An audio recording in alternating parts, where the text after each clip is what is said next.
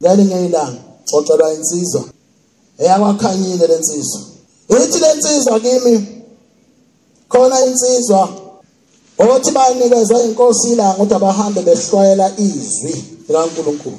Nayo lo nsizwa ke uthi ke ukhanyile uyise wayenjalo. Uthi ke mangabe lensizwa iphiwa izwi uNkulunkulu ebanikeza ethi owasenyakatho ngabheke eningizimu waseningizimu abheke empumalanga wasentshonalanga abheke enyakatho.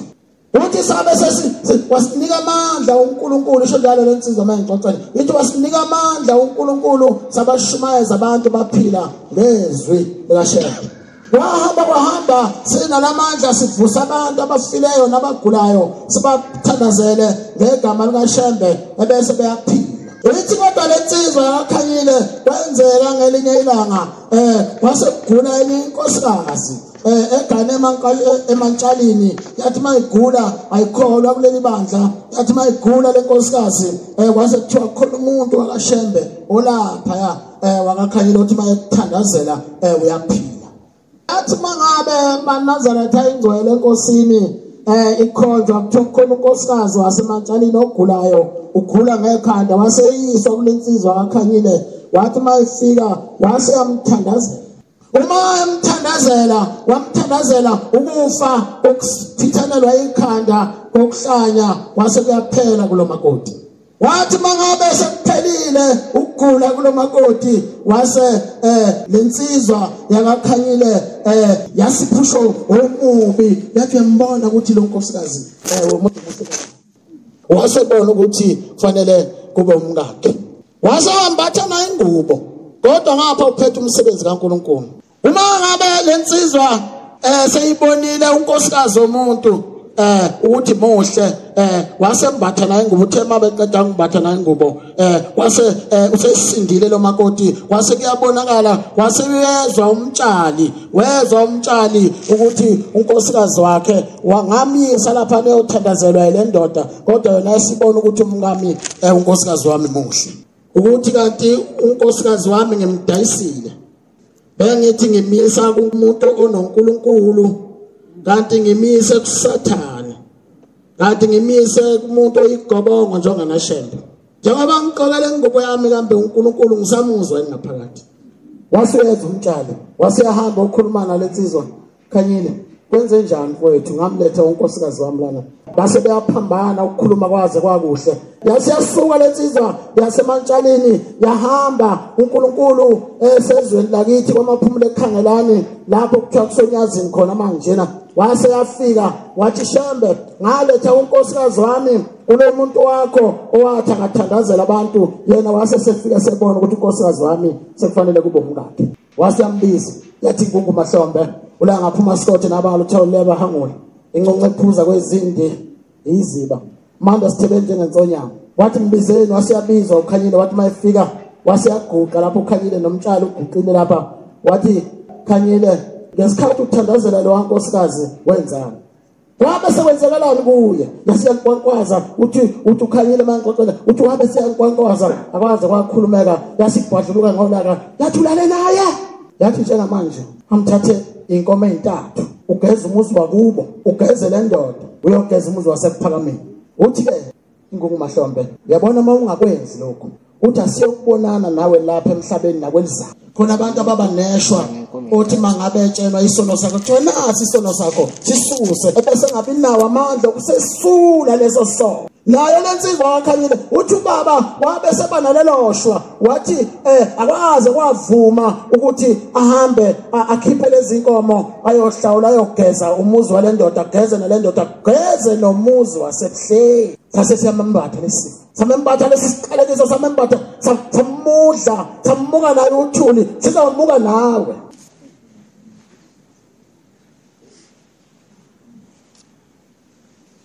Samudla lesi siqalekiso samuka naye ukhanyile saye sambulale olwandle saqeda ngaye. Wafa. So njalo khanyile mangixoxela ukuthi wafa baba. Wafa nalesi siqalekiso. Sasesimile lesi siqalekiso uthi kwezindodana yakhe umfowethu eh umfowethu wakhula naye uthema esesigabeni sokuthi ufuna ukuyoganwa eh wasiyahamba wacela eh wacela ingodosi kamfundisi ungema wobhoko uthwala izitshe ebuhleni uthema ecelile eh wathi ngicelile ngugcinile umthetho kaShembe ngacela intombi lapha ekhaya. Sathi lesi siqalekiso ngikhona lapha ekhaya eh ngimilile ngitshaliwe uNkulunkulu wasibeka lesi siqalekiso. Ngakho akho umuntu ozophila. Sizonidla nonke siniqede.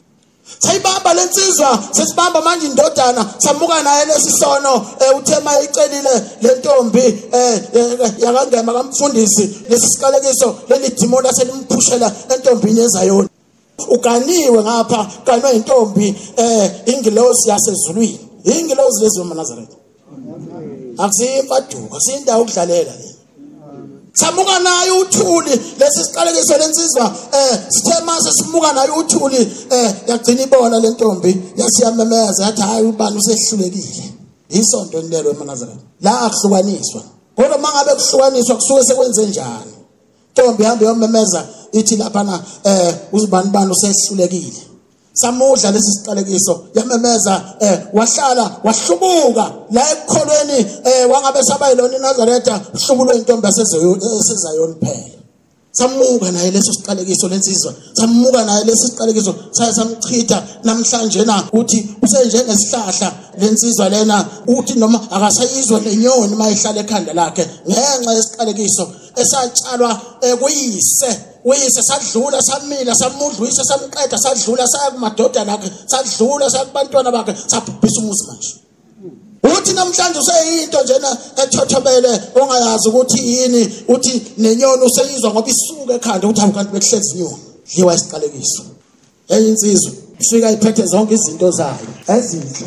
Kanti ize nesiqalekiso sabazali bayo? Ayiboniwe fika iphethe imoto iphethe imali iphethe yonke into enhle ongayicabanga uma ngabe seyifikile lapha eNazaretha kwakuhle yamlandela uNkulunkulu lapha ekhaya umuhle esimlandelayo. Into zayo ezinhle zase ziyancipha zathi mazincipha lezi zinto zayo ezinhle azigcinanga ngokuncipha zagcina siphela uma ngabe eh seyiphelile lezi zinto eh zakube ezinhle zayo ezinhle yasiyahamba yaNkulunkulu yathi inkosi ngafika lapha ekhaya mina eh nginezinto zami ezinhle nginemali nginezimoto nginakho konke. Kodwa manje lezi zinto zami ayisekho seyiphelile. Uthi lo nkulunkulu esimkhonzayo walapha ekhaya ekuthiwa unyazi lwezulu amen.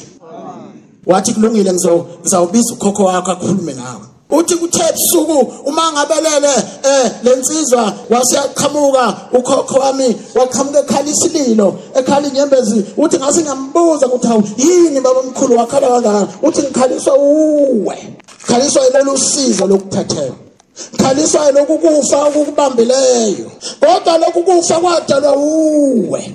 Wawungaboni ukuthi uzitshalela ukhula wawungaboni ukuthi uzitshalela ukufa. Sakunikeza imoto sakunikeza imali sakunikeza yonke into. Sathi hambe uyasikhonzela kulo nkulunkulu ngoba sifuna ungahlupheki. Wathi uma ngabe ufika eh lapha eh, eNazaretha into yokuqala wena owayenzayo wasuthatha imbuzi. Wathi ngiyakonikelela ngiyakonikelela ubaba wami ongizalayo. Kanti ubaba wami unesiqalekiso. Njengoba uhlezi lapha nje awazi ukuthi ubaba wakho mhlawumbe ubanjwe isiqalekiso kodwa awunandaba naye. Okwakho ukuphikisana noshembe.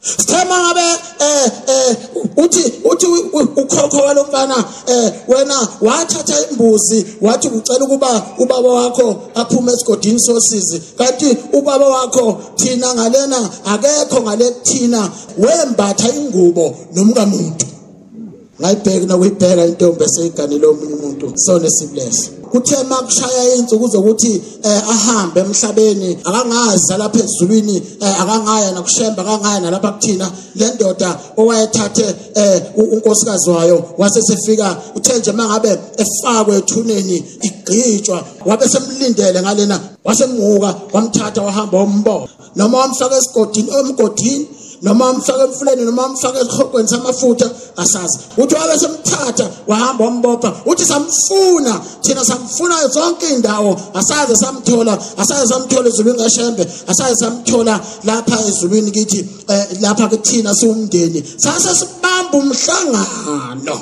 Masibamba umhlangano sase sithi cha simesule. Ngoba lo muntu akekho lapha kuthina nasezulwini kaShemba akekho nasejele likaShemba akekho. Nathi asizange simbophe asimazi ukuthi washo lapha ngakho sesiyamesula lapha ekhaya.